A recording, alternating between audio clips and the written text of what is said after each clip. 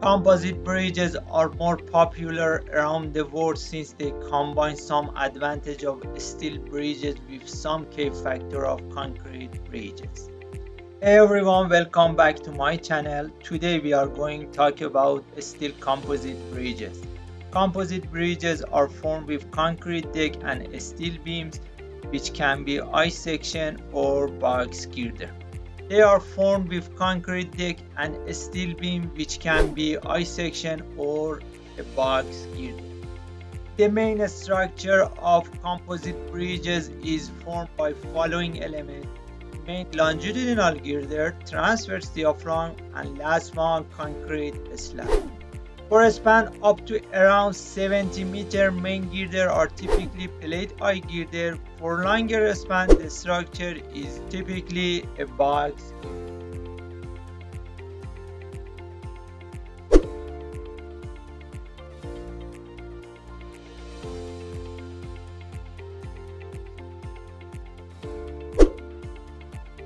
Transverse diaphragm help to distribute part of the vertical load between girder they are also used for stability of structure during construction.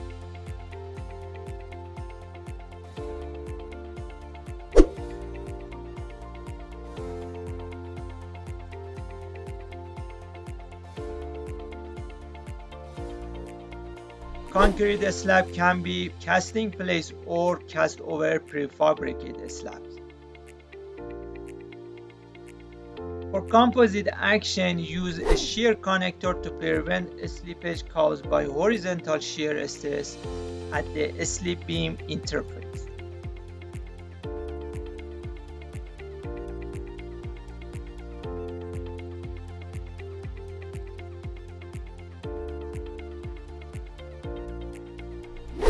As I mentioned earlier, steel I girder or boxes are most common cross section of decks Plate girder has a I-type cross-section.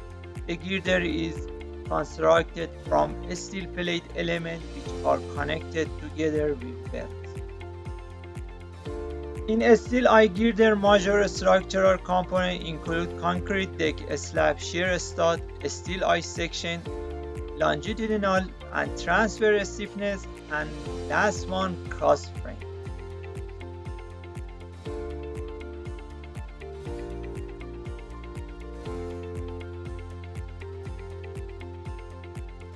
Flanges in I-section provide the bending strength.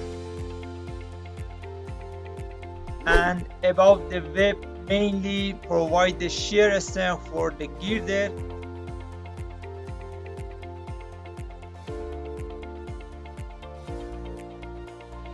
And also there are three type of stiffener usually used for I-section.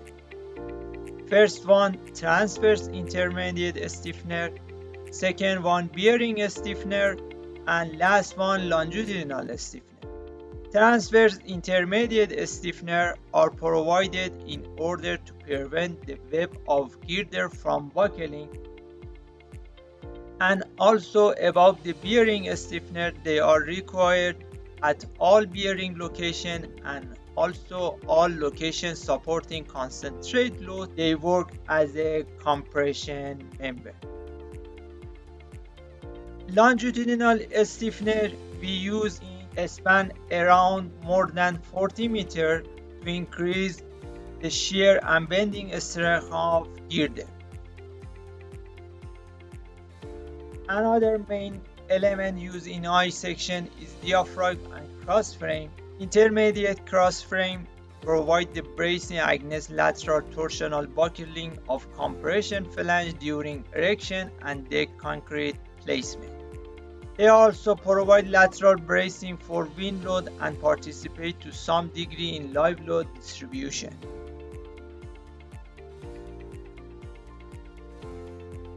As I mentioned earlier, another steel composite is box girder. In reality, the box is form of the plate girder which combine two girder into the single unit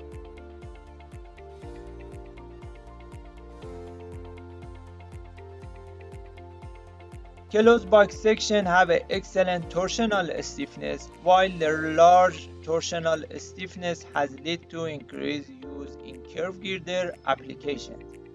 Although the box section provides aesthetically pleasing structure, but the amount of steel required, especially for closed box girder, can sometimes exceed that for standard I section.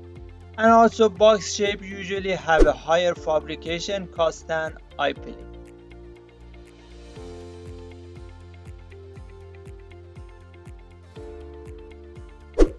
One of the main difference between a steel I and box bridge is existence of a stiffened plate at the bottom flange.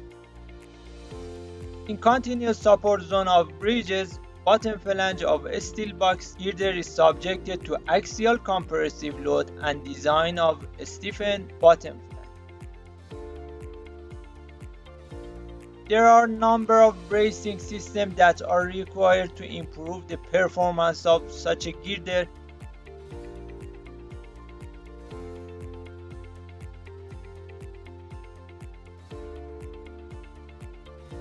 Most of the these bracing systems are required primarily during construction of concrete bridge deck. Much of the bracing is left on finished bridge.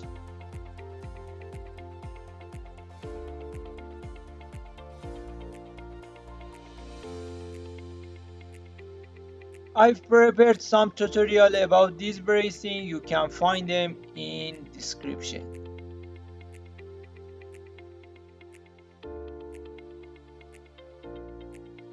Thanks for watching, I'll see you next video.